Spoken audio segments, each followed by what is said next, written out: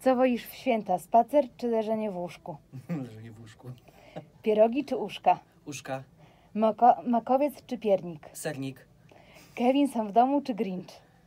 E, czuję się Grinchem, ale jednak Kevin. Strojenie choinki czy pieczenie pierniczków?